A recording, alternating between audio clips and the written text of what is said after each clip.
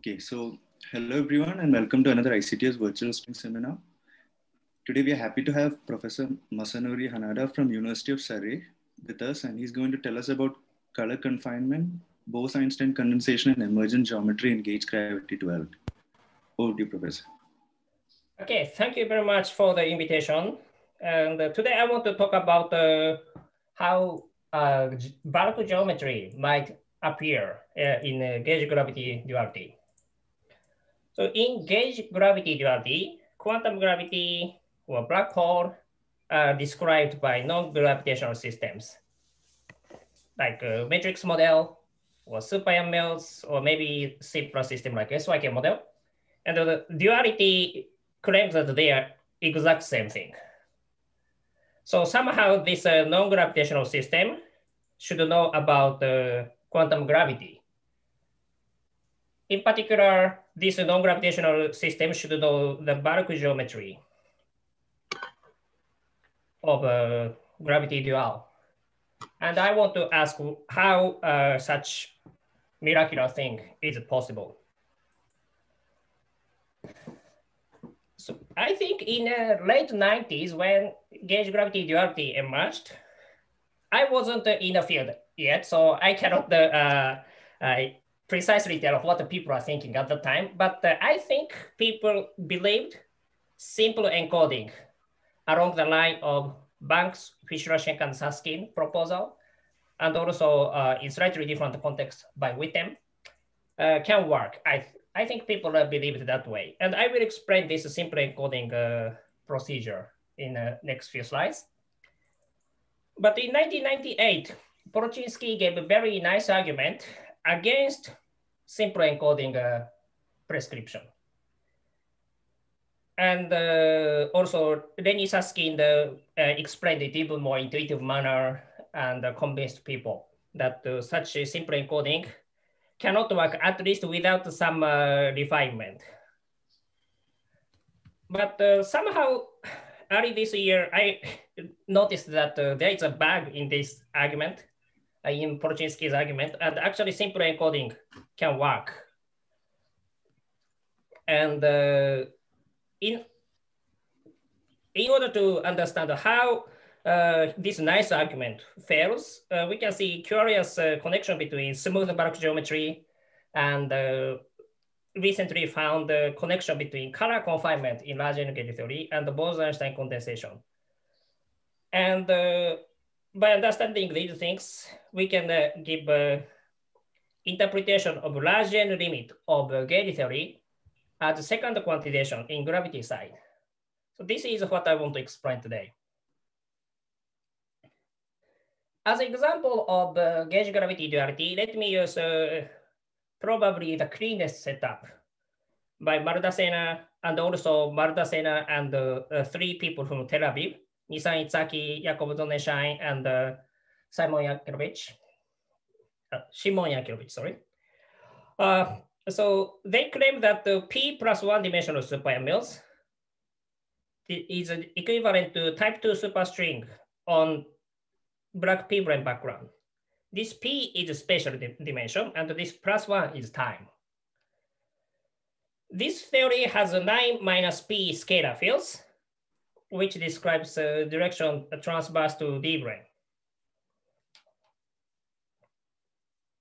And uh, in 1995, before gauge gravity duality, Witten uh, found that this theory can uh, describe low energy effective low energy dynamics of a system of D branes and open strings.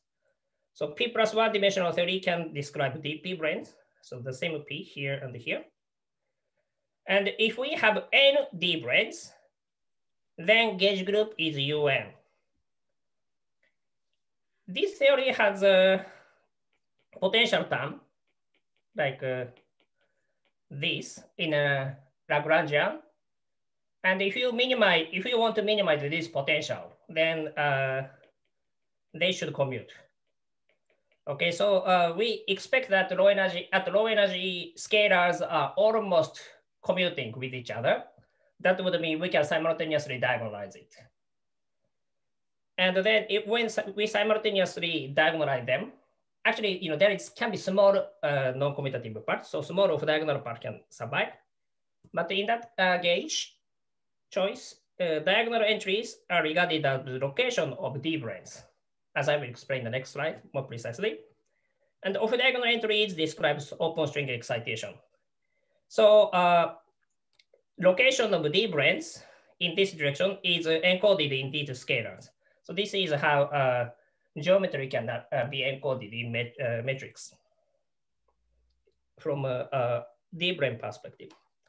So here, uh, this, this picture is for uh, SU4 theory. Okay, so we have uh, scalars. So this I can run from one to nine minus P. Okay, and uh, for each matrix, we can uh, take one, one component. And then we have, we can construct a vector in this space. And this vector would describe a location of uh, first D brane. And from uh, two two components, we can or again make uh, this vector in uh, R9 minus P. And this vector would describe location of second D brane. So in this picture, uh, location in this direction. And of course, you know, D brane can uh, uh, take a bit non-trivial shape.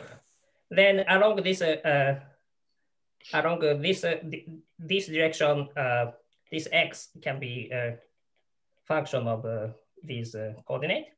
Then if we take a different, uh, uh, if we, if this is scalar field, take a different value at a different point in space and time, then of course uh, uh, D brane can take a different non-trivial shape. And uh, if we relook at the off-diagonal entries, ij, for example, if uh, three, four element is uh, large, that would mean a lot of strings are excited between third and fourth D brane and so on. So the value of, uh, of diagonal entries, so value of ij component corresponds to amount of open string excitation between ith and jth D brane, according to Witten's interpretation. And there are several ways uh, to understand uh, several ways of consistency check. For example, in string theory, mass of string, mass of open string Okay, mass of uh, open string should be proportional to length. So length times uh, string tension should be mass.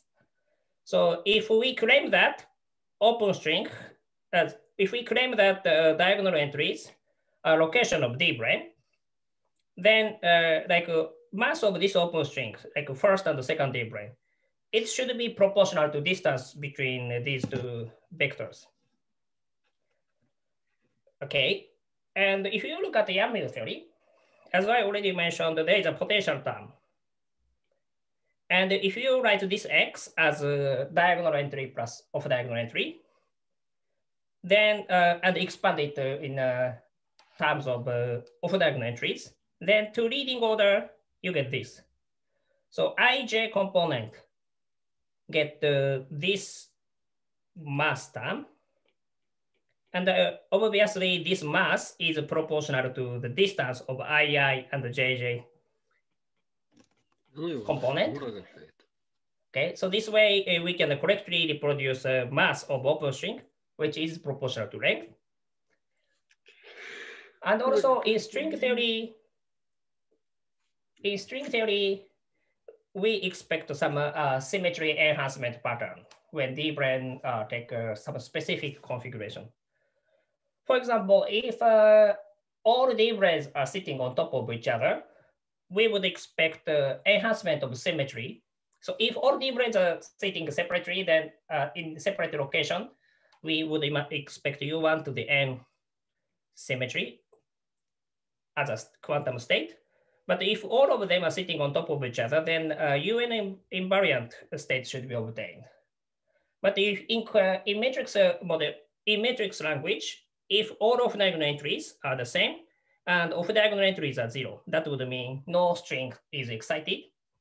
Then uh, matrix is proportional to identity. And this is UN invariant. And if N1 of D branes are sitting at the same location, N2 D branes are sitting location at the same location and so on, then from string theory side, we would expect this symmetry But if you look at the matrix configuration, this uh, symmetry is precisely reproduced. And uh, of course, you can also check uh, amount of supersymmetry, for example, and there can be many uh, checks you can do. And furthermore, d-brane should be with uh, low energy that uh, effective action of d-brane should be DBI action, but in an appropriate limit from DBI action, you can get Yang-Mills action. So it seems to be really consistent argument. So there's no reason to doubt it. But with this argument, it's claimed that uh, uh, this Yang-Mills theory is low energy, describes low energy dynamics of d-branes and the strings. Okay, so this is uh, not the context of gauge gravity duality yet. Is any question so far? Okay. And uh, so far, I uh, set the all of diagonal entry to be zero, which would mean all no open string is excited. But uh, uh, we can imagine that uh, if uh, any one of the d-branes are sitting on top of each other, then strings connecting these d-branes are massless, so you can easily excite them. So maybe in each block, it's reasonable to have some open string excitations. And then we get some uh, non-commutative blocks, and we expect some uh, block diagonal structure at finite energy. And uh, Banks, Fischler, and Shenker, and Susskind, in a context of a matrix model of M theory, claim that, uh, okay, so these blocks can describe an extended object like membrane or black hole. And this matrix uh, model, so in their case, they considered p equals to zero matrix model. So they didn't mention uh, high, uh, QFT, but this matrix model should describe uh, should describe capture gravity, not just effective theory, but it uh, should capture gravity. That's their conjecture. And from this point of view, we can uh, imagine various shapes. So maybe we can imagine three blocks, or maybe we can imagine just one block, or maybe we can imagine 100 blocks. So in that way, uh, various multi-body interaction can be described. So this point of view is very uh, connect, naturally connects large N and second quantization in the sense that uh, various uh, different objects can be described from the same matrix model. So they, in some sense, they suggested that uh, this uh, first quantized uh, matrix model can be regarded as a second quantized gravity. And uh, I put almost here, just because uh, in this in this context,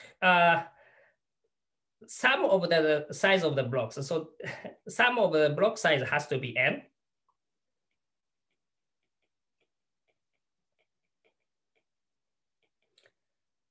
So in that sense, it's almost a second quantization, but there is some constraint. So for example, uh, it's not clear how ground state or you know no excitation, nothing can be described in this context. But it's almost a second quantization, and it's really attractive picture. And uh, although they uh, proposed this for matrix model, once Maldacena conjecture is given, it would be natural to imagine that the similar picture can be applied to Q, more generic QFT in non-zero spatial dimension. So natural hope would be that uh, this diagonal element equals to location of a d-brane picture can be used to gauge gravity duality in the sense of Maldacena, in the Maldacena duality. And in matrix model, we in matrix model, we had nine scalars and that described R9. But if we want to consider four-dimensional super-Yang-Mills, so it is five shift correspondence. In this case, we have six scalar fields, which naturally describe R6. But we can uh, uh, uh, we can write R6 by using a radial coordinate and uh, uh, angular part. And uh, this part is S5, and this plus original four-dimensional space of QFT can be combined to form ADS5. This would be natural hope if we apply ideas like Witten or BFSS to gauge gravity duality.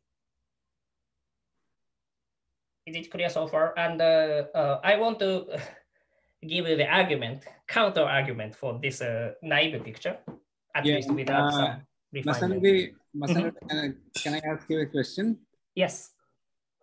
So if you go back to the previous, previous slide. This one uh, or? No, the next one, next one. This one. Yeah. So here, uh, there is a, yeah, I would like to, uh, you know, point out a uh, sort of um, essential difference between the D equal to, uh, I mean, the uh, D0 brane case and the D3 brane case in the sense that in the D3 brane case, you have a conformal theory and mm -hmm. you mm-hmm. have you have a tunable coupling, you know. Mm. On the other hand, uh, like the 't Hooft coupling can be uh, externally specified. On the other hand, in case of D0 uh, brane uh, theory, you, know, you have a running coupling and it corresponds to just uh, a length scale, namely some kind of a lambda QCD, which is, you know, Gn to the power one third. So there is a, I mean, there is no, there is no meaning of weak coupling versus strong coupling uh, like the way you have in uh, the uh, D3 brane case. So in the case of a matrix model, we coupling is essentially, so, so what you said is that the coupling constant in a four, four dimensional theory, it's a, uh, this is a, does not have mass dimension, so it's tunable. And this, uh, uh, in a 1D theory, this has a mass to three, power three.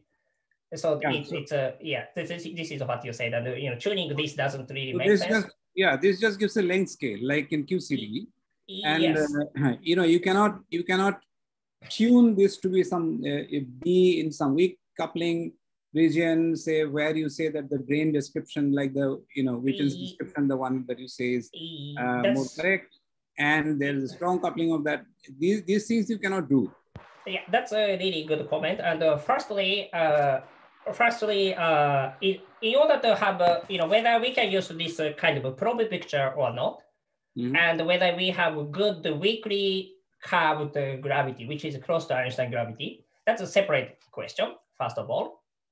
And uh, when, uh, of course, and uh, in the case of the matrix, in the case of 4D theory, what I will claim is uh, regardless of the value of the coupling, probe picture itself is fine. But wh whether we can, whether from that probe picture, we can get the weakly curved gravity is a dynamical question. And in the case of a matrix model, it's the same. So we can, uh, I can give you a good uh, uh, probe picture at any, any energy scale. But in order to get good gravity theorem, we mm. have to go to strong coupling. And strong coupling in a one-dimensional theory means this combination is small, which means low energy. So in one-dimensional theory, uh, strong coupling uh, is uh, roughly equals to low energy. And uh, yeah, but uh, I will show you that regardless of the energy or coupling, mm -hmm. we can uh, give a good probe picture itself. And uh, whether we can get weakly coupled gravity real by using that probe picture is a more dynamical problem. And today I cannot uh, give you the answer. So I just claim that probe picture can be given and at the strong coupling or low energy, we expect that that probe picture should lead to weakly coupled gravity, but a highly dynamical problem. And I will give you some uh, uh, potential uh, direction, potential method which can be used for the verification. And uh, so this is the next problem we have to do. But anyways, but in, even in this model, although as you said, coupling is dimensional full, so in that sense, uh, coupling does not literally make sense. But uh, strong coupling, weak coupling translate to low energy or high energy. So there is no big difference, I think. Well, I mean, you know, so um, in case of the, maybe this is not particularly relevant for you, but I'm saying that um, in, in case of the 4D super Yang-Mills uh, case, uh -huh. when you go to, um, uh, you know, strong 't Hooft coupling, mm-hmm. uh, by just externally tuning it to have a, a large value. Then mm-hmm. you can talk about, uh, you know, gravity, but at all energy scales. You know what I mean? Uh, yes, you yes, don't have, that's true. That's true. That's say, so. You don't have yes, to yes. say that I have to be So here, rather, your, you know, if your energy is always expressed in case of the D0 brane mm-hmm. or, or D1, D2, whatever, if your energy is expressed uh, in the units of uh, this particular length scale, which comes from dimensional transmutation of the uh-huh. uh, coupling constant, uh-huh. then there is no further, uh, you know, weak coupling or strong. Then, then you cannot say that. Uh, then there is a notion of, you know, this dimensionless, which is what you are calling energy here. Ah, yes, yes, yes. So, uh, I mean, you are tied up. You are tied up here. You don't have that facility that you have in four-dimensional mills to say that if it but, is, but that's not that's not really a problem. So in a sense, uh, in a uh, in a dual uh, bulk language, it just mm. means uh, toward the center of the bulk, uh, weakly curved gravity picture is good, and toward the uh, boundary of the bulk, uh, alpha prime correction becomes large. That that's it. And there is a region where weakly coupled gravity is good here. And uh, what you said simply means in four-dimensional theory, uh, by tuning a coupling, you can have a bigger region where weakly coupled dual gravity is good. So, yeah. so in that sense, this is a cleaner setup. In that sense. Yeah, that's, that's right. I agree. The, that the same, the same uh, that that boundary that you drew. I mean, maybe you are going to come to that anyway because uh, the. Ah, uh, yes, yes, it will. Yes, yes, and I, I will discuss both of them. Yeah. May, mainly use it, but uh, I will explain how uh, argument uh, uh, made for this can be applied to this. You know, what part has to be changed? I will explain. Okay, thank you. Okay, so we mainly consider uh, matrix model because notation becomes simpler. But the same argument holds for uh, P positive. And uh, what the uh, Gautam said is P, so I, I just say the, you know, the same argument holds for p positive, but the p equals to 1, 2, and the p equals to 3 are slightly different. so we have to uh, consider these cases separately. Okay, so first let me explain a puzzle posed by Polchinski. Okay, so he said uh, this kind of argument doesn't work. And first, uh, so first state his puzzling for p equals p smaller than three. p equals to three is slightly different, okay?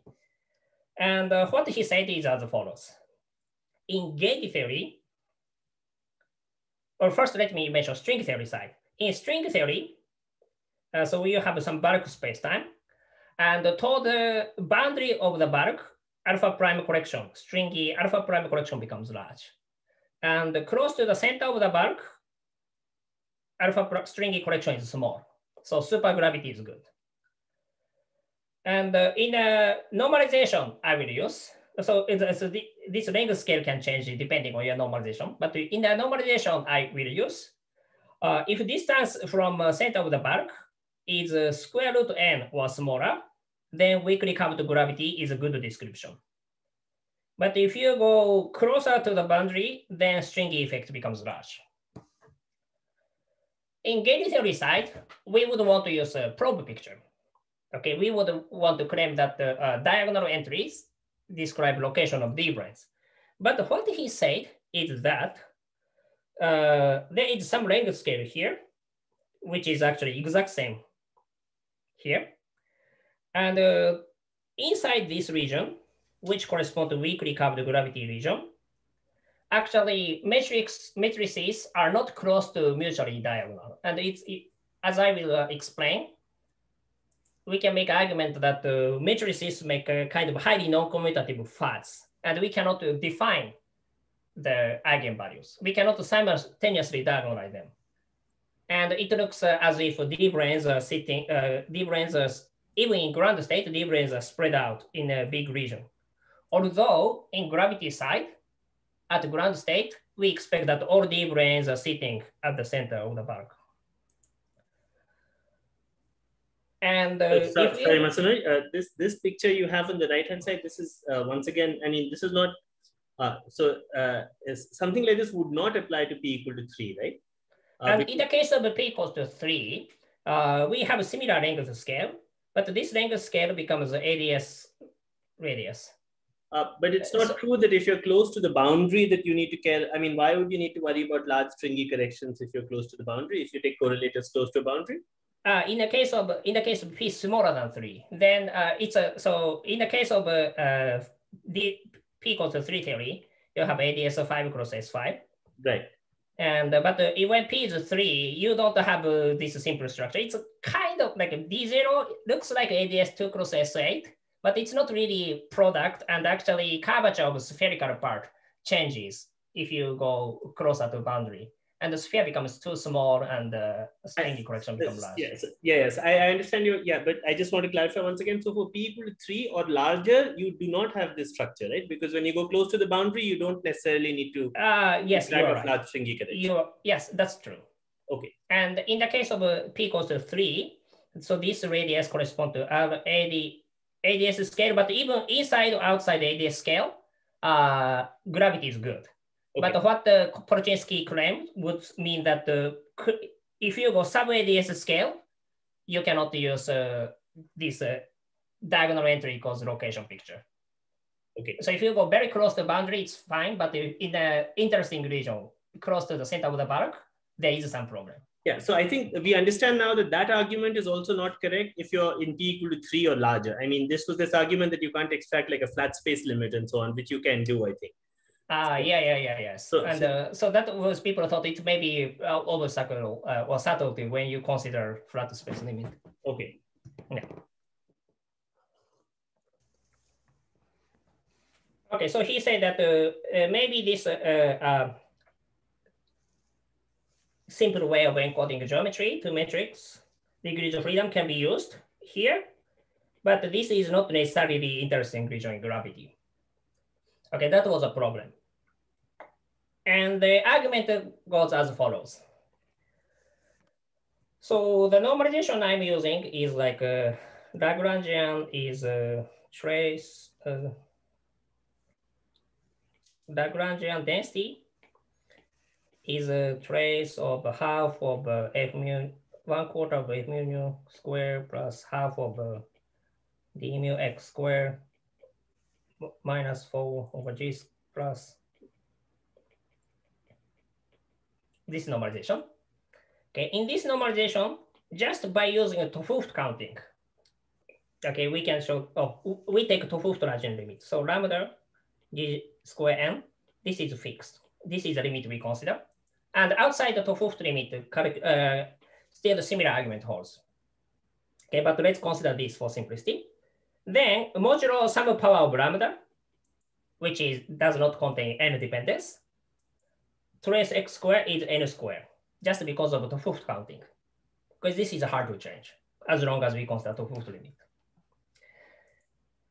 And uh, this would mean that if you, so xi is a Hermitian matrix, so you can diagonalize it.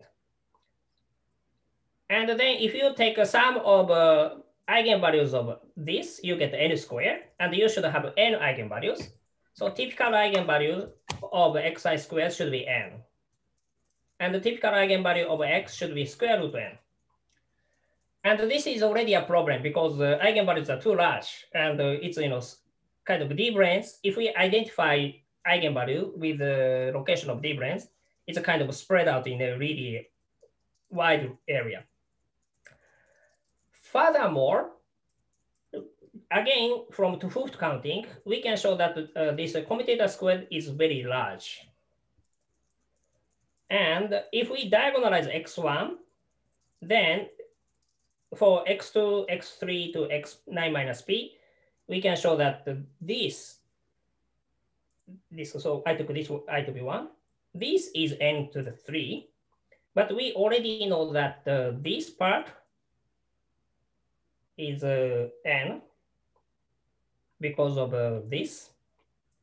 So this is n, and n times something, and we take a sum over n squared times, and we get n cubed. So that would mean uh, each of diagonal entry is one. But the trace xy squared is, uh, no, no, tra trace, so if it would mean, so trace xi squared, which is the sum of uh, xi ij squared, this is n squared. But in this basis, when x1 is uh, diagonalized, each matrix, each of diagonal entry is order one, and uh, there are n squared of them, so we get this value. So it's uh, not diagonal at all. Diagonal entry of diagonal entry, everything is order one. So there is no way to define location. There is no way to simultaneously diagonalize matrices. So in this region, we cannot define location or di diagonal entry. But if we take uh, you know one of eigenvalue to be very large, much larger than square root n, this counting can change, and we can def uh, define eigenvalues or simultaneous eigenvalues outside this region. This is uh, Polchinski's argument. And because we use only 2 counting, it's really hard to avoid, hard to circumvent this. But still, I want to show that this is wrong. Okay, so this is uh, wrong in a bit non-trivial manner. Is it a question now or no? Okay, so I want to show that actually this is wrong. And uh, this is actual physics. So uh, in uh, uh gauge theory uh, language, everywhere, so this, this scale, such a scale doesn't exist. Everywhere, location can make sense.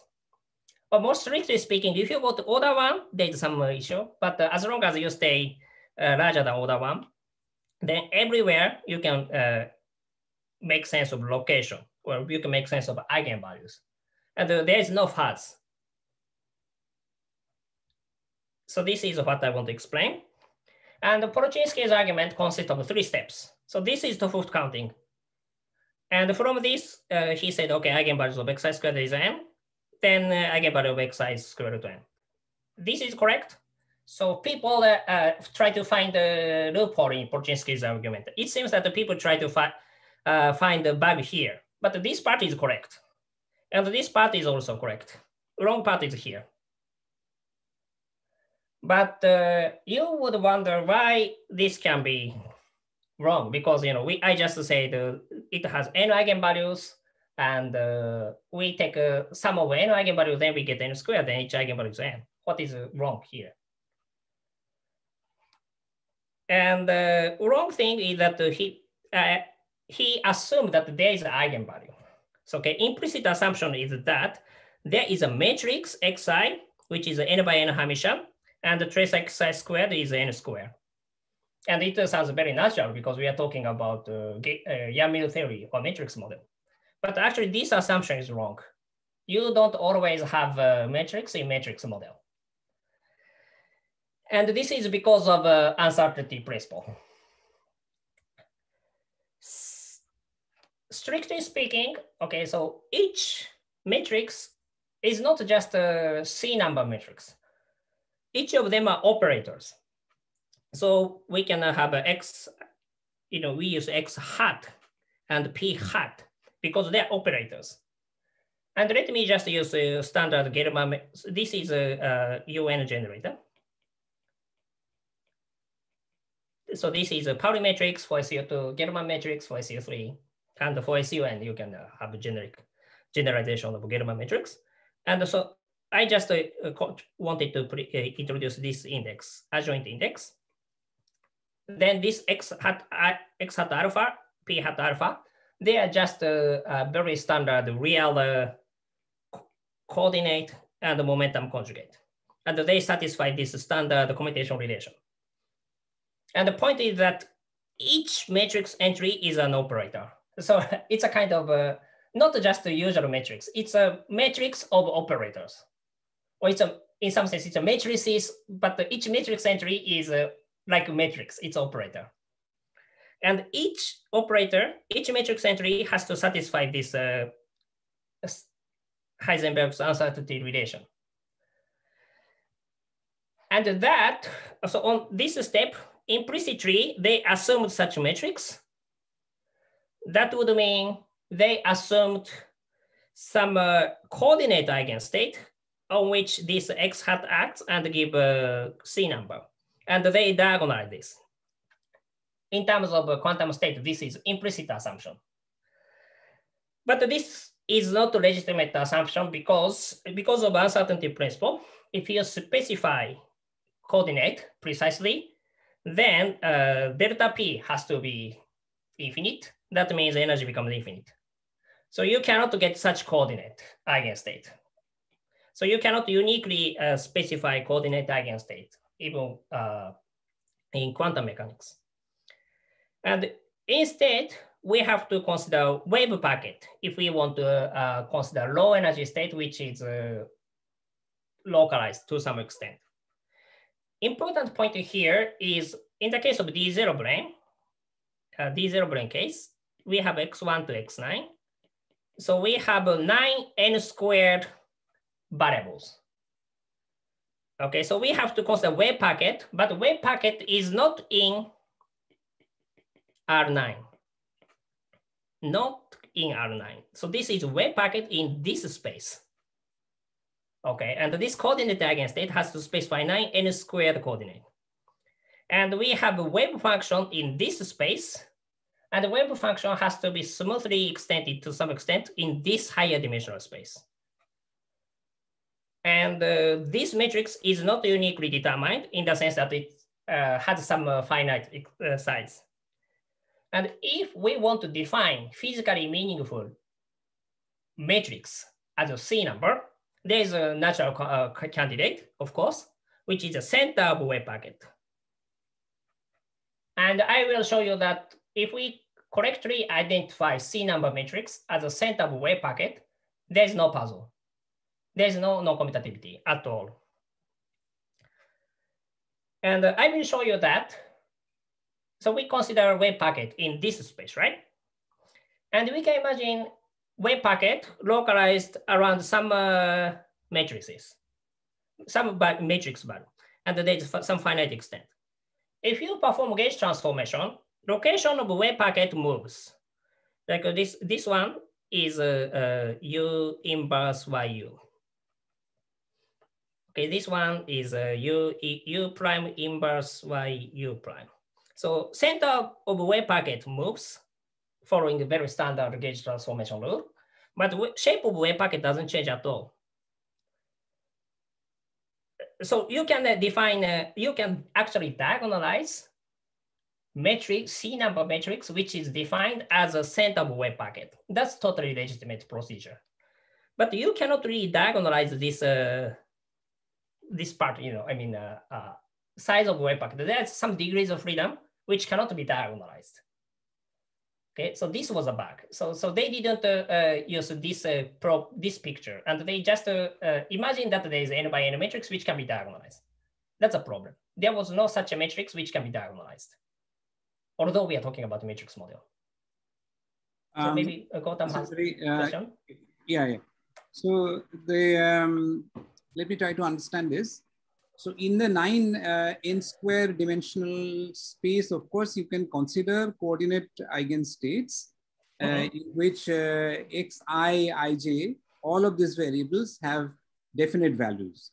Ah, yes. Saying, you are saying that such eigenstates will uh, not be anywhere near the ground state of the theory or some so not be low energy uh, state. So you, you say that uh, we can consider eigenstate, coordinate eigenstate in this space. That's true. Right. And you know, I draw wave packet here, but each point in this wave packet, they are mm. coordinate eigenstate you talked about. Okay, but imagine that, uh, uh, so in this, uh, in this here, imagine that you wanted to diagonalize one of them, one of the coordinate eigenstate. You can diagonalize it, but if you perform such a gauge transformation, other coordinate eigenstate goes to some other state. So you can, you know, diagonalize one coordinate eigenstate contained in wave packet. But if you do that, other coordinate eigenstate contained in the wave packet also get transformed. And the linear combination changes very non-trivially. Okay, there are okay. There are two kinds of diagonalizations one can talk about. First of all, these um, xi operators they are of course uh, always commuting operators because right because in the nine n square dimensional uh, um, uh, um, notation they are yes. all they are all commuting operators because they are yes. all position they are all position operators. That's but of course, there is a matrix index. So you you may ask about whether in some kind of nine in uh, um, sorry nine dimensional uh, sense they are commuting or they are not commuting. And maybe right because I'm saying that nine n the nine n square coordinate operators they are they, they are of course they are commuting. Yes, they are all commuting. Right. Yes. So, so for no, example, no, if you if you so yeah. you you can specify x right. one one over x. Okay, uh, you can imagine that you pick up one point from here, one point okay. from here. Okay, and you can diagonalize that x uh, in the sense that so, but this x most precisely you have x1 to x9 here, and you can diagonalize one of them. That's totally fine you can take such gauge. Okay, that's the matrix diagonalization, not the, the operator. Matrix diagon, yeah, yes, that's a matrix diagonalization. But yeah. uh, but here, so if hmm. you pick up just one coordinate eigenstate in this wave packet, you can do that. But okay. this wave packet contains uh, many other uh, coordinate eigenstate, and it's non-trivial linear combination of uh, coordinate eigenstates. What happens is, imagine that you uh, so let's use this blue, maybe uh, this, imagine that you diagonalize this coordinate eigenstate. Okay. But then other coordinate eigenstates are transformed non-trivially as well. and as a whole, it just moves location. And you just see the same wave, wave packet with the same shape, but in different location here. This rotation is the rotation in in uh, the by the similarity transformation of the matrix. Uh, so the center of wave packet changes this way. Yes, and I will show you how this uh, gauge transformation appears. So uh, maybe so, but what I do is if you have just one this x, this x moves to uh, something like ux u inverse. But the uh, wave packet as a whole actually just changes this way.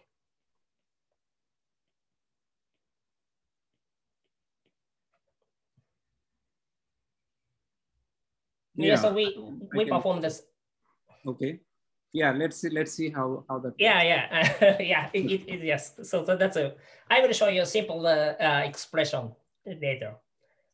And if we consider ground state what happens is ground state is a well localized wave packet in uh, this space. Okay and uh, for all nine n squared directions uh, size of wave packet is order one. And there are n squared directions, so you get n squared in total. Trace x squared is n squared. But this is well localized and gauge invariant. And no gauge transformation can change the shape of this wave packet. So there is no way that you can take one libre out of here. So it's just gauge invariant. And uh, that this is gauge invariant ground state. This is actually related to the mechanism of uh, confinement. And uh, by understanding uh, similarity between B, Bose-Einstein condensation and confinement, we can understand it very naturally.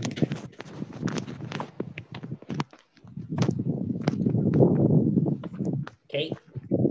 And in case you want, but maybe you are not comfortable that I'm using a, a non-gauge invariant wave packet if you want to, you know, uh, use only gauge invariant language, then you can perform a gauge trans or possible gauge transformation to this localized wave packet, and you can take linear combination.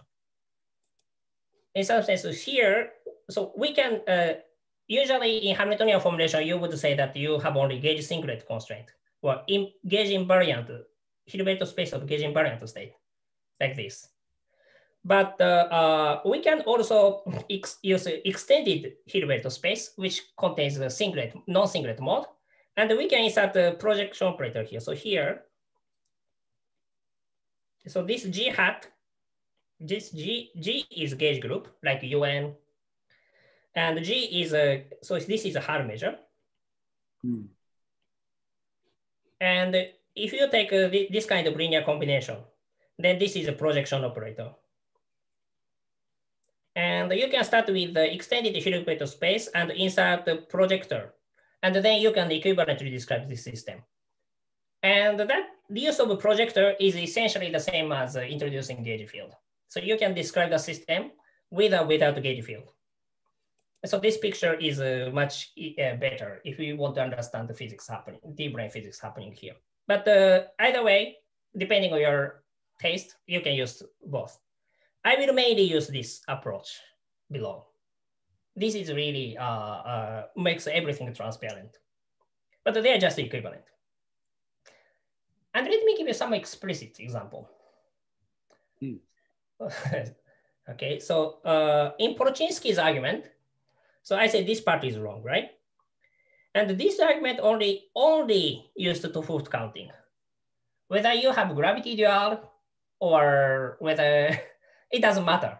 Whether it's a strong coupling, weak coupling, it doesn't matter for this argument itself. Okay. So, for example, we can forget about uh, fermion and we can consider bosonic theory and still it should work. This uh, Polchinski's argument is applicable if it's correct. And uh, if you like, you can add a mass term here. Still mm. nothing changes. And furthermore, we can take weak coupling limit. So we just forget about this. And we can take Gaussian matrix model. And even to Gaussian matrix model, his argument applies. And the Gaussian matrix model is very simple and you can write down everything explicitly. So uh, we can understand physics very clearly. Uh, Masanori, can I, can I ask a question? Mm -hmm. So is the original objection uh, related to n being large or the 't coupling being large? Uh, just n large. 't Hooft coupling doesn't matter. It just as long as 't Hooft counting holds, it's fine. But I thought in the, but if you go to the, you're of course using the variables x, which are more natural for the Yang-Mills theory. But if you use the variable x's, which uh, which directly relate to string theory and therefore supergravity, I thought um, the course, objection so, was that the size, this, I mean, whatever they call the size of the of the ground state is the same as the size of supergravity, and that is only valid when the 't Hooft coupling is large. Yeah. So what you are saying is, uh, so this argument itself doesn't care whether you have gravity there or not, it's a strong coupling or not, doesn't matter. But if we actually want to relate it to supergravity precisely, we need a strong coupling. But so this is a confusing part. So Polchinski's argument uh, is an argument against this, uh, you know, uh, gravity. So it's kind of uh, argument against uh, you know using this picture to gravity. So people assumed this is uh, you know some uh, non-trivial thing at a strong coupling, but it's not really the case. Actually, this uses just large n counting. So it, it's uh, some uh, something people misunderstand. And people try to find a loophole to Polchinski's argument, looking at the strongly coupled dynamics. That's a problem. It's not really the case. If you carefully look at his argument, although I'm not sure he uh, will realize that or not, but the only thing he used is large 't Hooft counting. And strong coupling, weak coupling doesn't matter. And the same argument holds at any coupling and, uh, you know, quote unquote fuzz appears always, any theory for the same mechanism. And the resolution is also the same, whether it doesn't matter whether it's weak coupling or strong coupling. So it's a purely large Lagian counting, 't Hooft counting. And he also tried to apply to M-theory region, which is not 't Hooft large N limit. But uh, uh, if you carefully look at the calculation, uh, if you carefully look at the you know, various calculations, actually, uh, even outside the 't Hooft limit, the same scaling holds up to some non-trivial. So I say that the trace x squared, this is a 't Hooft coupling to the sum power times n square. And this 't Hooft coupling can carry n dependence in M-theory region. But this relation itself doesn't matter. So some non-trivial dependence on lambda times n square, it doesn't, it does hold even in M-theory region. So as long as we can uh, false, uh, falsify this argument in 't Hooft large n limit, the same argument applies everywhere. I see, thank you. Yeah. Oh, by the way, I think it's very early in the US, so I'm glad that you're here. uh, so anyway, uh, so I want to uh, so let's look at the gauge Gaussian matrix model. It's the simplest example. And if you understand uh, how uh, Polchinski's argument fails here, the same holds. Uh, you, you can understand how it applies to strong coupling as well. Well, I already spent 15 minutes, so I have to go a bit faster. So this is Gaussian matrix model. Okay, so we just have uh, nine n squared harmonic oscillators with gauge singlet constraint. And we just identify states related by UN transformation because it's gauge matrix model. And the UN transformation acts like this. Okay.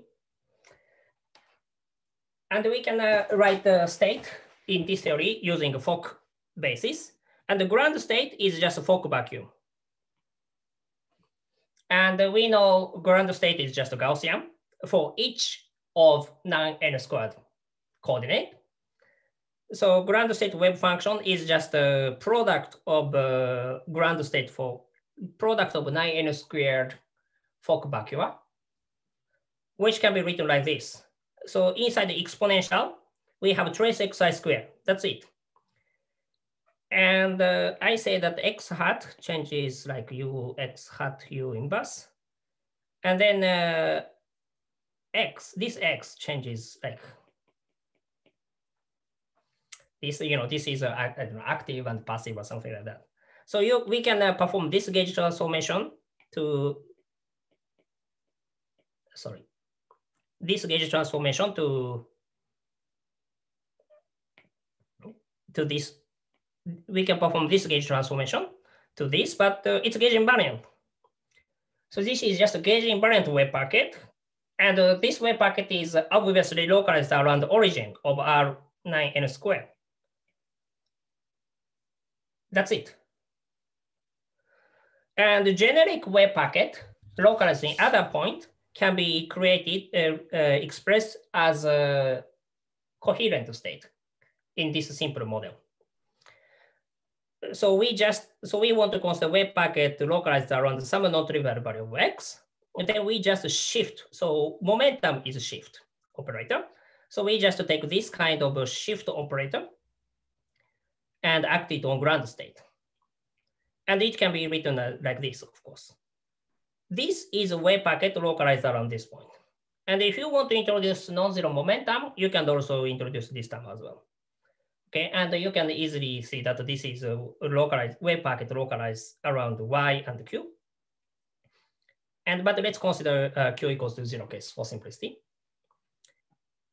And then, so I say that this uh, uh, y hat changes to u y hat u, and p hat changes like u, u inverse, u p hat, sorry, I messed up. X changes like u x hat u inverse, p hat changes like u. Then this combination, of course, changes like trace y u p hat u inverse but you can also read it as a trace u inverse y u p hat. Okay, so the after this uh, after gauge transformation, this part is gauge invariant, it doesn't change. And this p hat receives gauge transformation, but it amounts to the change of this y this way. So center of wave packet moves from here to here. And as I will uh, will see in this slide, next slide, uh, shape of wave packet doesn't change because if we just subtract this uh, y and take a, you know, uh, x hat minus y to the k and uh, sandwich it with a wave packet uh, centered around the localized around y, then it's just the same as x hat to the k sandwiched by ground state. So shape doesn't change. And it, it holds for any y and any k so shape doesn't change. So gauge transformation just changes the location, period. And uh, furthermore, if we identify uh, this Y as a matrix which describes uh, D brane and strings, then it's consistent with Witten's picture. because uh, for example, we can imagine n minus one d branes sitting at the origin and one d branes is separated from others. Then such a state, so we take uh, matrix Y to be some special form. So Y, y to be zero and zero, zero, and only this part has non-trivial value, okay? And this quantum state is manifestly un minus one cross u1 invariant because y changes like this. And if you all the branes are sitting on top of each other, that would mean we act uh, this operator to ground state, and this is a manifestly UN invariant. And uh, we can also consider, you know, uh, more complicated, uh, like a, there are multiple bunch of d branes, but then we just get the correct symmetry enhancement. Also, if we introduce this commutative, uh, commutator part, then uh, if we use uh, uh, this state, okay, and if we sandwich this Hamiltonian made of x and p hat by exponential minus i trace y p hat times the ground state and exponential plus i trace y p hat ground state. And look at here, this one. This just uh, amounts to the shift of uh, x hat to x hat plus y. And then due to the Higgs thing, then, then if you use this y to be, take this y to be diagonal, you get this extra term, additional term in Hamiltonian. This is uh, mass term. this is correct Higgsing pattern. Okay, so this way, uh, uh, string mass is correctly reproduced. And of course, uh, this kind of uh, construction of a wave packet using coherent state, that's uh, correct only for uh, weak, only weakly weak coupling limit, in free limit. And with the interaction, for example, this mass term appear due to Higgsing, and if G squared is large, then it, it would give a large mass of diagonal entries. So if we just uh, take uh, the same uh, coherent state, then it at some point, if G squared is too large, then energy goes up. So in order to have a low energy wave packet, if we have large interaction, coherent state is not a, uh, uh, legitimate state. And we have to take into account this kind of uh, correction. And so the width of the wave packet has to shrink because of this term. And some correction is needed. And uh, I'm not 100% sure how such correction can be described. But one natural construction is that just uh, fix the center of wave packet and minimize the energy. And maybe, maybe there is some correction to this, but I think this is uh, reasonable. And as long as we use this definition, then the picture I explained is uh, totally legitimate. Exact same uh, argument holds, though we cannot explicitly write down uh, wave function analytically. Was it clear so far, or maybe a bit confusing? Um, hello. Hi. Uh, Masanori, can can I can, can you go to the previous slide, the last point? This one. Yes now it, it is possible that you know like um, in a in a particular state mm-hmm. uh, you don't have a center right? I mean that that somehow you know like let's say let's, let's let's say we think about gravity itself. Maybe you're saying uh, so i would say low energy state can be written as a linear combination of wave packet with well defined center. But uh, of course uh, they can have, uh, I mean, uh, for example, if we, we just consider linear combination of two different wave packets, there's no center anymore.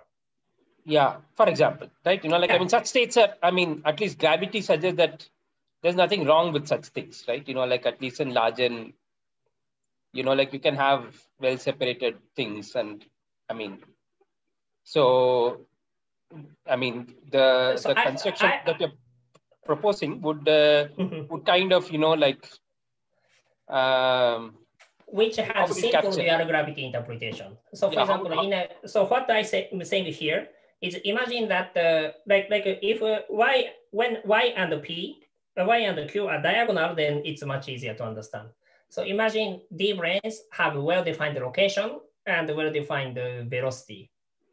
Then corresponding to that, this is a natural counterpart of such d brane system in gravity side. So if you know in gravity side, you can specify location and the momentum of uh, d branes. But uh, if you consider more complicated states in gravity side, then this is not legitimate. We, we need more complicated construction. Yeah, I mean, I mean, usually that, I mean, what I'm saying that you can have like, for example, two centered things orbiting around. Uh, two center, I mean, two center black hole. Yeah, things ah, orbiting uh, in that, In that case, two center black hole is probably simple. So you, you take Y to be uh, zero and zero and some, some non-zero thing here and here. And these, these two blocks are localized around the different points. Okay. Uh -huh. That's two center black hole. Okay, I'm, I'm trying to understand. This Y and Q here are matrices.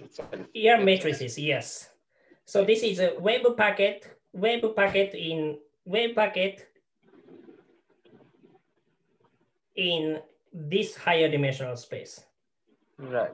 And in the case of the three brane theory, this is R six n squared to the, I mean, at each point in space, you have R6n squared. So it's a really huge space. So it's like R6n squared times uh, volume, if you consider the three brane case. By volume, I mean volume of uh, three-dimensional space. Yeah. Okay, so, and then, so, so now I hope uh, you now you think that this uh, you know using a matrix to specify the coordinate can work, but uh, I showed I I just say ground state has to be gauge invariant, and in free theory it's uh, reasonable, and we, even with interaction you you may think it's reasonable, and I I think it is reasonable, but uh, uh, I want to give you a bit more justification. And this gauge invariance of ground state was uh, important. Because it's gauge invariant, we cannot really change the shape of a wave packet. So, you know, it's, it was really localized at the center, okay? And if it's not gauge invariant, maybe by gauge transformation, maybe you could get the D brane scattered around the large hmm. uh, bulk region. Then you may not be able to describe a smooth bulk. Okay, so why well localized? So, so ground state is well localized in this interpretation because ground state is gauge invariant. And why gauge invariant state is favored? And to answer to this question, I already spent 60 uh, minutes, so I have to wrap up. But I think uh, mentioning about uh, very important Indian physicist is uh, justified in talk to Indian people. So let me just continue. So let me ask slightly seemingly different question. What is the historically the first example of non-abelian gauge theory? And I want to say that it's not Yang-Mills in retrospect. This is uh, what Bose and uh, Einstein considered, and indistinguishable bosons. And I want to say that this is historically the first example of non-abelian theory. And I want to say that this is a historically first example of confinement. Okay, so I wrote uh, this uh, uh, form of a partition function. Okay, so using a gauge invariant Hilbert space or extended Hilbert space with a gauge field. Okay, and uh, actually this form is used uh, to describe uh, Bose-Einstein condensation. So imagine that we have a SUN gauge group and the field content was adjoint. Then this is just Yang-Mills, and this G is gauge field, essentially. But uh, if we take SN permutation group as a gauge group and introduce fundamental fields like vector fields, then actually this is system of n, n indistinguishable bosons. And it can be easily seen as follows. So let's consider n bosons in three-dimensional space trapped by harmonic potential. Okay, so we have n particles in three dimensions. So we need x hat, y hat, and z hat. And this i runs from one to n. okay, and for each, so we have n three vectors and we have momentum conjugate, but I want to see this to be n vector, x1 to xn. And uh, this y can also be regarded as n vector and so on. So this is a kind of a, Sn uh, n vector model. And they are indistinguishable. Indistinguishable would mean if we exchange uh, x hat i, y hat i, z hat i, with uh, x hat j, y hat j, z hat j, physics doesn't change. So grand, uh, wave function has to be invariant under permutation. This is the definition of uh, indistinguishable. Okay, but that simply means uh, Sn is a sort of gauge symmetry. Okay, so in an extended Hilbert space, we can use a Fock state. Okay, acting so on a Fock vacuum, we just uh, act uh, uh, creation operators. And uh, in if we want to use gauge invariant language, then we symmetrize them.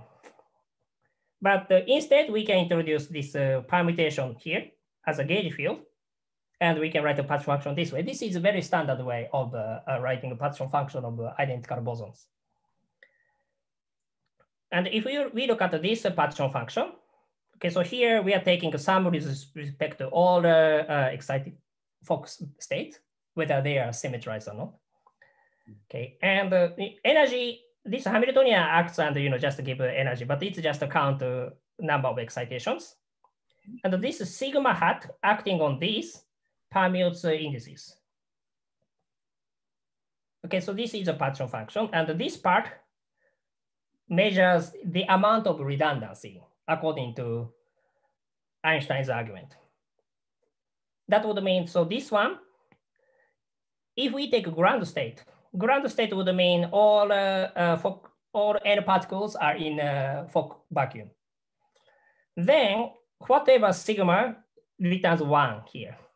Mm. So we take a sum over all element of permutation group, and this part becomes n factorial.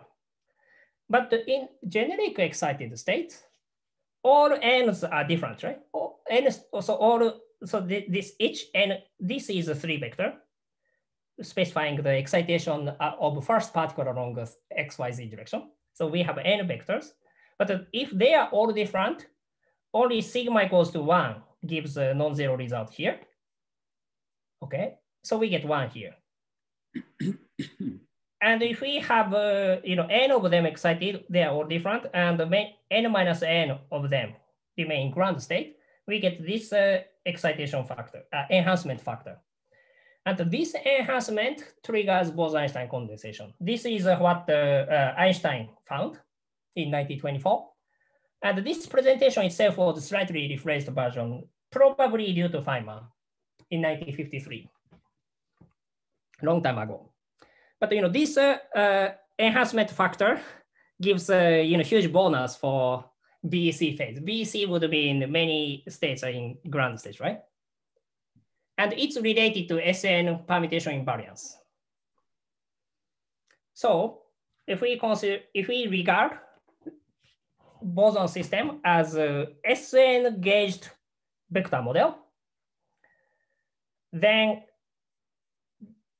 genuine gauge invariance, genuine gauge invariance by genuine gauge invariance means it's gauge invariant in extended Hilbert space, okay? This genuine gauge invariance leads to this enhancement factor, which is a volume of gauge group. And this enhancement factor triggers BEC. If we consider SU SUN gauge theory with the adjoint field, namely Yang-Mills, actually genuine gauge invariance can lead to enhancement factor, volume of SUN, which is roughly speaking this compared to generic state. And this enhancement factor causes color confinement in large gauge theory. So there, exact same physics is happening for exact same reason. And in Bose-Einstein condensation, we had a partially BEC phase. So some particles are in ground state, some of them are excited. And in uh, YAM theory, we can have a counterpart of this, which is partially confined, partially deconfined state. So if you have some, uh, if you add some energy to the ground state, you can see that if excitation kind of uh, uh, you know cramp up in smaller region, and uh, this region is left as a confine, then such a state can have uh, this enhancement factor. But if you imagine, you know, so by adding energy, you have to excite uh, some color degrees of freedom. But if it clamps up, then large symmetry can survive. It leads to enhancement factor. But if they're just kind of scattered around and no symmetry survives, there is no uh, enhancement. But uh, this BEC mechanism favors larger symmetry. So excitation wants to clamp up to some block. Okay, so naturally this kind of block appears. And uh, th this mechanism, in the case of BEC, this mechanism works even at the strongly coupled region. And uh, in Yang-Mills, we don't have explicit proof in strongly coupled region, but I think it's reasonable to assume the same can happen in strongly coupled region. And in some simple matrix model, we can do Monte Carlo simulation and we can explicitly check this kind of partially deconfined, partially confined structure, even at strong coupling. If you are interested, I can uh, give you reference. So uh, ground state, which is you know vacuum like a vacuum uh, ADS or ADS vacuum, which is just completely confined. And uh, we can imagine that we can uh, excite some of the D branes and the strings. And then if we have some uh, energy, which is not too big, not too small, then we imagine in gravity side, we imagine some black hole is formed. And in gauge theory side, we, we uh, can expect that the smaller the deconfined block is formed. But this part remains confining, and this part can be used to probe the smooth bulk geometry outside black hole. So we can take this, you know, we can take this Y. So we, we, we, we consider wave packet centered around Y. And we take this Y to be uh, some non-trivial value here and uh, diagonal here. And we can use these diagonal entries to probe geometry here. So this is a bit speculative, but uh, I, I, think this is reasonable picture.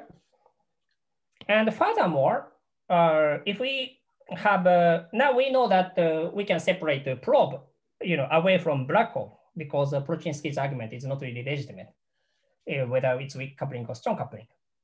Then we can imagine that uh, some energy amount of energy are loca located at a different point away from uh, origin of uh, color space. But then this BEC mechanism forces each block to, uh, each excitation to clamp up to block.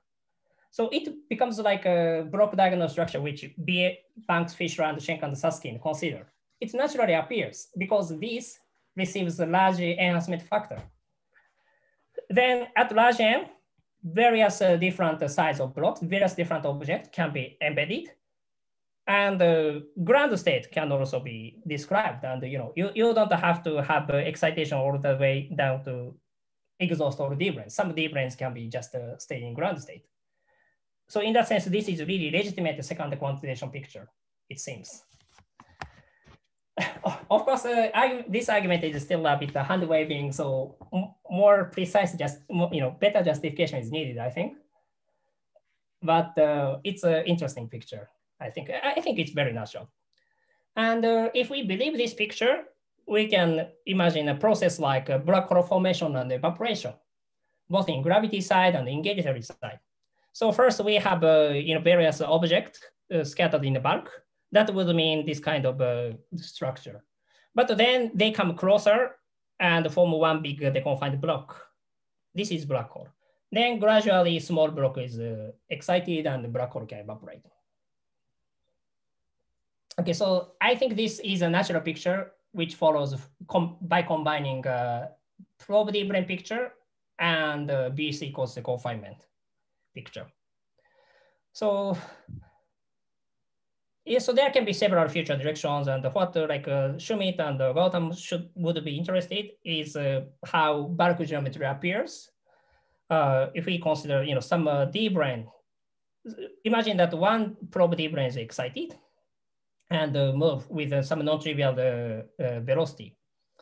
Then, assuming that this construction is correct, then we can compare it with the gravity picture like using DBI action, whether energy of such system is described by DBI action or time operation of such system is defined, is described by DBI action. And I think traditional lattice Monte Carlo may be a bit difficult for this setup, but it seems that Xizhi Han and Sean Hartnoll used deep neural network to study similar problem, and their results look legitimate. And I think neural network can be ideal tool for studying this uh, setup. And also we can imagine some uh, D branes you know, scattered around here and here. And then uh, in matrix side, we have this kind of structure. And maybe we can integrate out this part. We can integrate out this part and see how this region and this region, uh, how uh, degrees of freedom in bulk uh, entangled with each other. Maybe we can uh, use the idea of the target space entanglement entropy uh, developed by uh, several people from India. And my original motivation was actually in a quantum computer.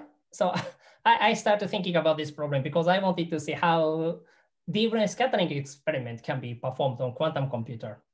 And in principle, we can uh, realize a matrix model on quantum computer and then using this uh, D brane probe picture, maybe we can see how, you know, we can have black, black hole geometry and we can uh, introduce one probe D brane.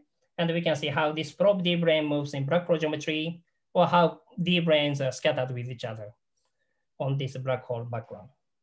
And whether that can be described by Dirac-Born-Infeld action or not is a non-trivial question. And uh, as I already said, black hole formation and evaporation you know, studying this on quantum computer is uh, my biggest fantasy at this moment. Anyways, this is my final slide. Sorry for extending uh, almost 15 minutes.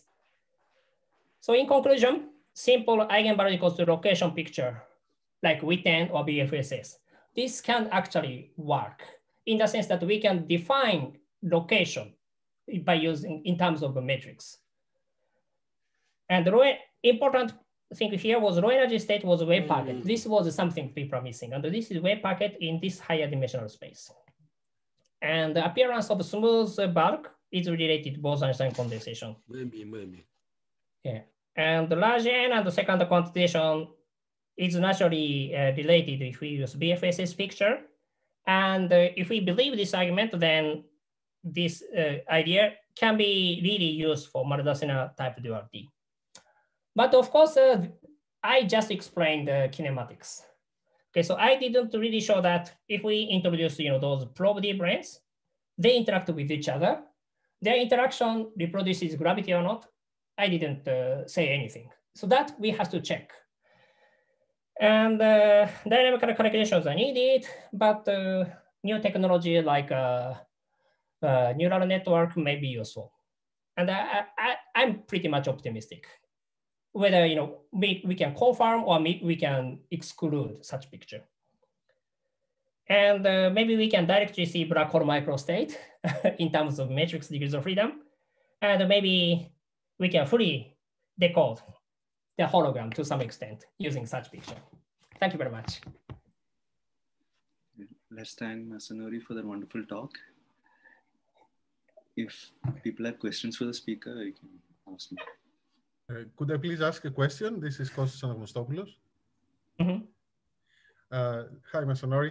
Could, could hi. you please uh, uh, tell me whether the low energy assumption excludes the configurations where the eigenvalues are of uh, different order in n? like uh, in, in, I mean, when you take trace x squared to be of order n squared, then uh, from that you uh, that uh, all, all, x are of order, uh, all, all, the eigenvalues are, are of the same order of magnitude. But one can imagine configurations where eigenvalues are concentrated in, in a way and they're, let's say some of them are of order n squared and others are of order, uh, I don't know, one or less. So uh, if we consider black hole, then energy is n squared, right? And uh, naively, I would think, so if we take uh, y to be black hole, then uh, yij, each i, this is a, or really order one and not zero.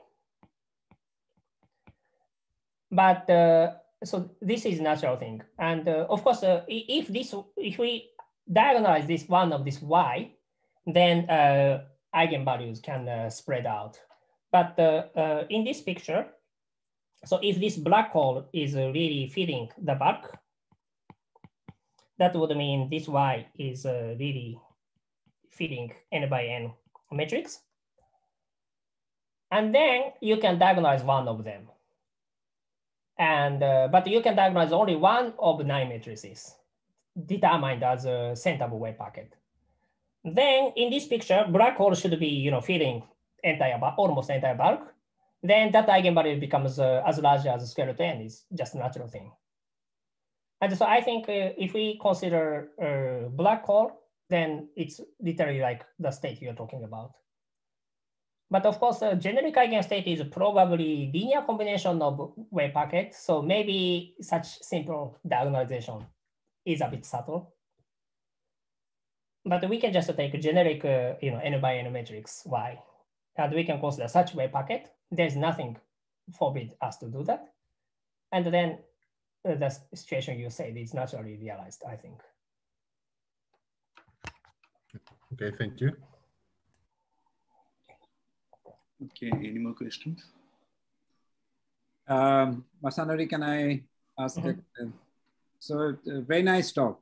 Really, um, I learned um, quite a bit. So let me ask.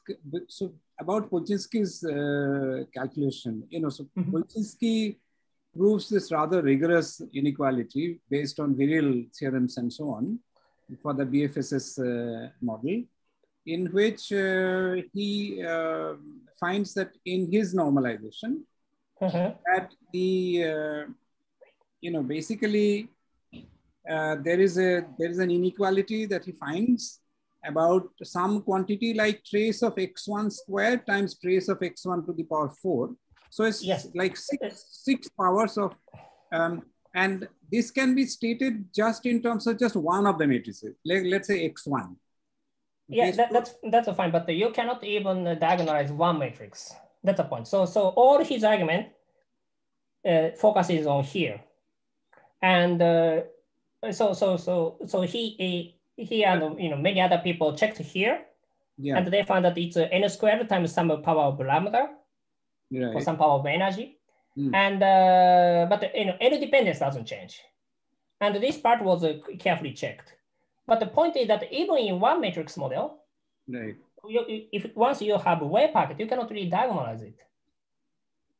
So so uh, so here we cannot. So point is that we don't have a matrix. That's the point. So even in one matrix model, you cannot really diagonalize it. Can, I mean, uh, clarify that. clarify. It's a gauged one matrix problem. I can always choose a gauge where the matrix is diagonal. Uh, yes, yes. So, so what I'm saying, what I'm saying is, uh, for example, uh, in uh, uh, in uh, uh, Lagrangian formalism, you can uh, go to the gauge where matrix is uh, uh, uh diagonalized. Mm -hmm. But if you want to find the low energy low energy wave packet in a quant uh, in Hilbert space, its situation is just the same. If you have a Gaussian one matrix model like here, this mm -hmm. so here it's a Gaussian matrix model, but uh, it, it this, this argument applies to Gaussian one matrix model as well. So if you write down ground state in terms of matrix, you always have this. And so in this R, so in that case, you have Rn squared dimension. And the point is that uh, if we want to relate uh, eigenvalue of a matrix to space-time, mm -hmm. like, like uh, so in a case of one, one matrix model, you can, uh, so in a, in a Lagrangian formalism, first you can uh, go to diagonal basis and go to free fermion, fermion picture, and then that, uh, you know, quantize fermion, you can do that. But if you want to identify uh, eigenvalue of bosonic matrices to naive to uh, D brane location in this way, it already in one matrix model, it's very subtle. Um, so, without going to fermion picture. So, so sorry, Masanori, maybe, you know, like it might be uh, good to probably distinguish between matrix model and matrix quantum mechanics. I think what you're saying is that you cannot diagonalize in matrix quantum mechanics, right? I mean, if, if, if it is a matrix model in the in the sense that let's say mathematicians understand just without any time. Yeah, and uh, also also uh, fine, here, right? yeah, and here also I uh, focused on uh, uh, uh operator formalism. Yeah. And okay. in, so people tend to use uh, path integral, and of course in path integral you can that you can diagonalize x1. You can you know restrict path integral to the part of the uh, integ integration space where x1 is diagonal, for example. But uh, configuration obtained that way is uh, related to uh, this uh, quantum state very indirectly. so, so, yeah. if, so if you want to relate the path integral configuration to uh, quantum state, probably if you diagonalize one of the matrix, it's highly non-trivial, I think. So, but at least you cannot identify diagonal entry of uh, x1 to be uh, the location of D brane quantum state. So mapping to quantum state becomes very co complicated.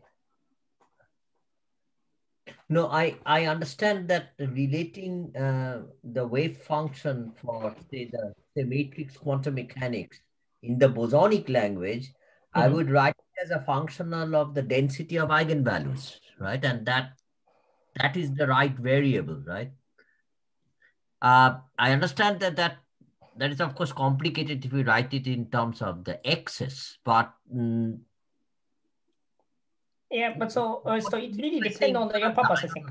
Hmm? Yeah, but what I'm saying saying is if you want to relate uh, uh some you know matrix and uh, brane configuration, this is the way to go. If I At if I can the deep, picture. But if I can write any configuration in terms of density of eigenvalues, I can write it entirely in terms of matrices. But uh, again, again, the problem is that uh, so you have this you have this wave packet. Right. You have this wave packet. So so wave packet contains various different uh, matrices, and once you specify ground state, in terms of operator language. If you specify ground state, that contains uh, a lot of different uh, coordinate eigenstate. And then right. my question is, which co coordinate eigenstate are you diagonalizing? So you cannot specify it. And uh, in term, if you in, in terms of path integral, you can uh, you know diagonal, you can say you diagonalize x1. But then in order to obtain ground state in operator formalism, you need a complicated uh, uh, sum of complicated average of different uh, path integral configurations. And path yeah, integral configuration and the state doesn't have one-to-one -one correspondence. So then, then why do you expect from one path integral configuration, you can extract uh, different distribution. That's a problem. Yeah, I, so I, here, yeah, that, that's so it's like a fixing one integral configuration is like just a picking up one coordinate eigenstate from a wave packet.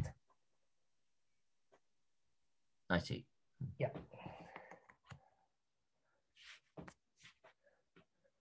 But you know, as long as you calculate like a gauge, gauge invariant quantity like trace x squared or trace of commutator square to leading order in one point expansion, if you just pick up a typical uh, path configuration or typical uh, coordinate eigenstate in wave packet, of course you get the right answer.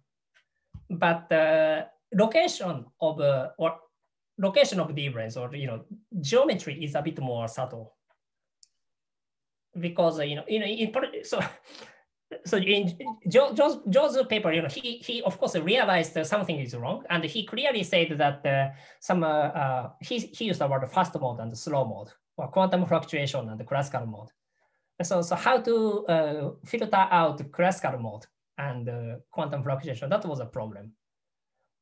And uh, but the, the problem is that he thought just from this x, from this coordinate eigenstate, he tried to separate the classical and the quantum modes, and that was hard. And the problem was that he looked at only this one coordinate eigenstate. He had to look at the linear combination. As long as you're just looking at one of the one state, it's uh, impossible to uh, filter out classical mode. That was a problem.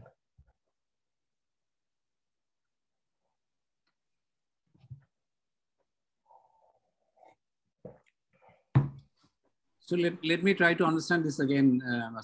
So uh, in Polchinski's picture, there is this uh, big blob, uh, you know, a, a, a uh, blob is of the size, yeah. So, I mean, I, I'm a bit uh, thrown off gear by your uh, normalization. In the normalization that I know where there the size of this is gn to the power one third uh, so what my normalization is that the uh, Lagrangian mm. is a trace, uh, so let's call that D0 brane theory. Lagrangian is a trace of uh, half of dtxi squared right. plus uh, the coupling appear here. Right. So if you use, uh, on the other hand, the DBI kind of normalization, like uh, appropriate for D, brane, D, D0 branes. Then and there would be the D brane tension sitting outside. And so, uh, yeah, with with that, uh, I think, uh, I mean, this is the normalization that Polchinski uses. And there, uh, right. yeah, the size of the eigenvalue distribution is given by GSN or G, G square N whole to the power one third. So, so this is square root to N changes probably changes to uh, one times uh, lambda to the one third times uh, one or something in his normalization, I think. That is right. That that is yes. right. That is right. And uh, so I hear also uh, uh, so some power of lambda is uh, uh, hidden here. So I didn't. I, I just wrote uh, n dependence.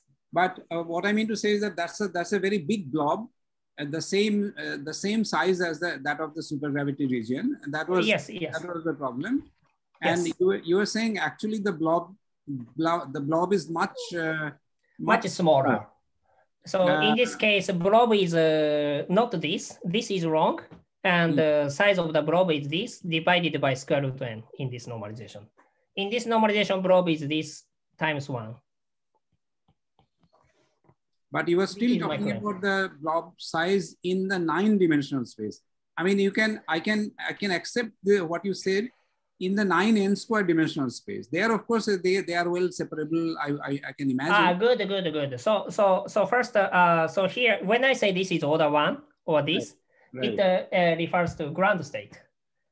Uh, ground state. So in this picture, I say that the ground state is localized around the origin of uh, this space. Hmm so for this size of the blob, in my normalization is order one. In Polchinski's normalization, it's one over square root n. But we can take a non-trivial y. So this ground state corresponds to y equals to zero. Okay. And if y is uh, non-trivial, then it can give non-trivial distribution in nine-dimensional space. Um, uh, by right. diagonalizing y.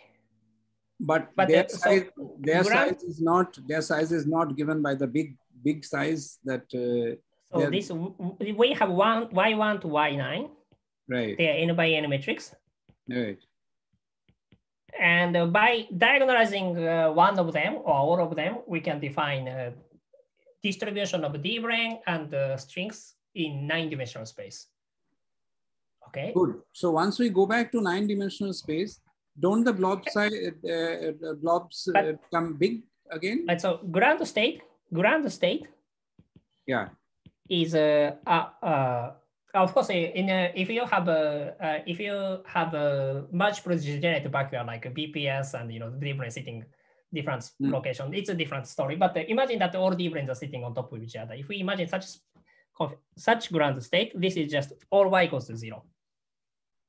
So when you diagonalize y, it's just zero. So all nice. d branes are sitting at the origin and no string is excited.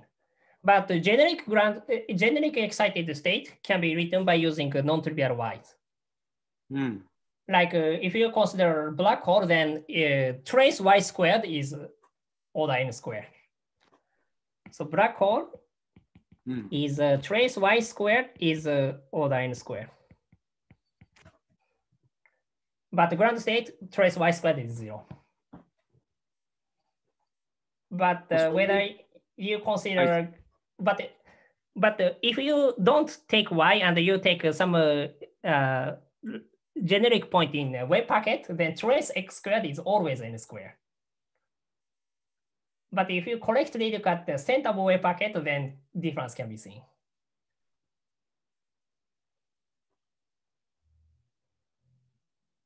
So you were saying that Polchinski's calculation would be wrong about the. Uh, so uh, trace x squared, trace x squared trace x squared is n squared, whether it's right. ground state or excited states. That's correct. So right. so that's totally right. So so so that is this part. This part is totally right.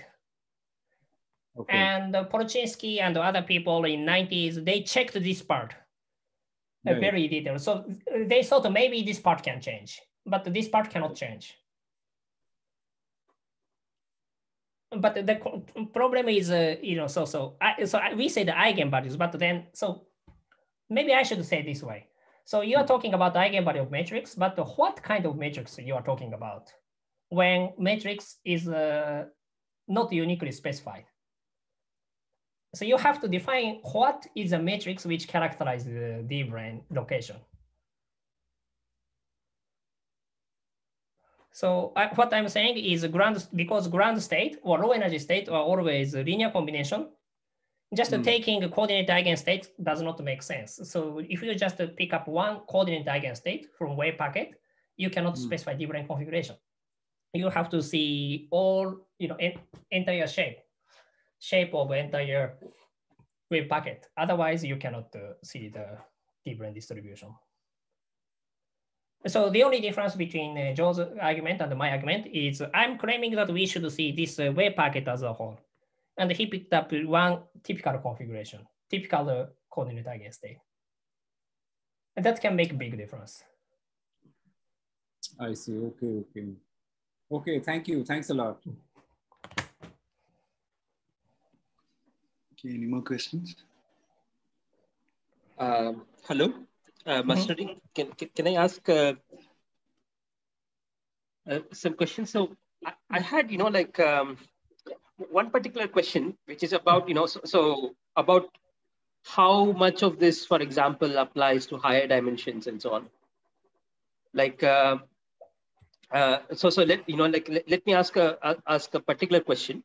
Mm-hmm. So uh, you know, like like Berenstein and various collaborators of his have been uh, studying these LLM geometries in uh, you know in, in the five ah, dimensional yes yes in ADS5 context mm-hmm. and, and and so on and uh, and and there they try to kind of uh, make sense out of you know like um, um, you know how things are localized and so on and so forth in the bulk mm-hmm. Uh, in, you know uh, that's that's a part of their argument they also talk about you know like entanglement and various uh, mm-hmm. things you know yes. like uh, and yes. various kind of information measures mm-hmm. and, and, things like that so uh, so so let me ask a, ask my question in that context i mean what you're saying uh, how does it um, gel in with uh, those kind of statements like would you say that those are consistent with it or you know like that they can be that your statements are more general or um, so firstly, probably the work by David Berenstein you're mentioning is uh, so so they consider uh, BPS sector and write, write down some effective yes, yes. matrix BPS, model. Yeah. Yeah, Yeah, and uh, and uh, so there are six scalars, and corresponding to that, there are six uh, metrics in matrix model, effective matrix model. And he was discussing, he was arguing that the eigenvalue distribution becomes like S5. And uh, I'm not sure how uh, that's a, uh, it's restricted to BPS sector and uh, writing the effective theory. So I'm not sure how it's related because this uh, picture applies uh, as a for full theory, not the BPS sector. And also ground state is probably just all x equals to zero rather than S5 like distribution. So I'm not sure how these two pictures are related. That's one uh, uh, short answer. And uh, also how it's generalized to, uh, so this, this, is, this is for D brane, this expression for D0 brane, uh, which is uh, zero plus one dimensional QFT in some sense. You know, quantum mechanics is zero, zero spatial, uh, quantum QFT with zero spatial dimension. And if we consider DP brane theory in a P plus one dimension, then uh, this uh, matrix X, uh, this, this run from one to nine minus P, but it can depend on uh, not just time, but also x1 to xp. So instead of uh, talking about this space, we have we have to consider r times uh, 9 minus p n squared times we need some regularization. And if we use lattice regularization, number of lattice points come here. So at each lattice point, we have to specify the value of the scalar. And uh, in this gigantic Hilbert space, we have to look at the web packet. And the ground state should be, again, gauge invariant and well localized, I think. But it, it, it's hard. I haven't uh, uh, done the explicit calculation, to be honest. Yeah, I, I, guess you know, like uh, the reason for half BPS is that it is uh, access, you know, it, it is factorable, uh, right? I mean, that's you know. Yeah, so that's, probably that's so, half we, yeah, probably if we we restrict to Q to be zero, and Y to be diagonal, hmm. then maybe it's close to half BPS. Maybe mm -hmm. we can consider restrict the discussion to some sector, then maybe we can relate. Yeah, I, I, was wondering like how, how sharp can you make your arguments, at least in this sector? Because in this sector, we understand many things, right? Uh-huh, you know, uh-huh. like, okay, okay, you know, okay. like, I mean, uh, so, so it would be a, you know, uh, because if I understand right, you do intend uh, this kind of ideas to apply to half BPS sector also. No, no, no, no, no. Yeah, it, it should apply to any sector. Yeah yeah so so then you know like uh, the question would be that uh, does it really you know like uh, work out in detail in, in, in that kind of uh, setup right? mm-hmm. yeah that's a very good comment and uh, to be honest i haven't thought about that yeah okay. that's a, honest answer but maybe uh, just restricting this y to be some specific hmm. configuration and yeah. introducing some gauge fixing term maybe we can write down more explicit formulas yeah and uh, and and one more question mm-hmm. which is uh, unrelated mm-hmm. uh, well partly unrelated which is about you know like your statements about uh, you know thinking about probes mm-hmm. right you know like i'm and uh, and uh, as you might know i mean there is some work on trying to kind of derive effective actions for probes and Mm-hmm. how you know like that matches with some kind of uh, expectation from DBI and so on. Uh, yes, yes, many people try that. Yes, Yeah, and so- I so- think I think we should use this uh, thi- this Y matrix Y set of Y packet corresponds to uh, uh, the location of the probes in that treatment. I think, and uh, of course, in that kind of business, a problem is uh, you know how how they can study strongly coupled sector. And in the case of D0 brane, they say that uh, probably non-renormalization wor- works and weak coupling and strong coupling or short distance and long distance are the same and uh, they can see some agreement. In general, probably we should use this kind of uh, So this is actually future direction, sorry, there are too many slides. One of the future directions. So Im imagine that uh, we, we, introduce some uh, probe and the location of the probe and the momentum of the probe can be specified. And uh, for example, we can measure the energy as a function of y and q, and whether that agree with uh, what people expect for probe calculation. Mm -hmm. And, and, and, and I, go, go ahead. Do you think using this basis is uh, would yield a better way to think about these probe effective actions and so on? That's uh, yeah, my my guess. Yes, but uh, I don't have a, a precise uh, justif clear justification for this this specific setup. In the free limit, coherent state is you know reasonable, but uh, yeah. So I'm I'm not sure what is a precise way to write down d brane probe. So so this is one way of uh, specifying a probe in matrix model, but the probe introduced that way precisely correspond to d brane probe or not is uh, a bit non-trivial. But I think the, for example, if we uh, consider q equals to zero and y diagonal y, then probably uh, we can check BPS condition this way. So I, I think some with after some numerics we can uh, get uh, justify it, or maybe we can find a better way to define precise precise way of uh, introducing a good probe in gravity sense. yeah, there are multiple ways of introducing probes. so that's uh, one of the problems at this moment. Okay, thank, thank you. Yeah. Okay, so any more questions? Okay, if not, let's thank the speaker once again. And uh, thank you very much. You yeah, Thank hopefully you. I can visit India soon. we hope we hope so too. But yeah. I don't know how soon will be soon. But yeah. Uh, but uh, at least uh, uh I'm uh, the one of the organizers which over the workshop which it's supposed to be taking place in one within a year or two in yeah. ICTS. So hopefully. Bye. Thank you. Thank you. See you guys. Thanks.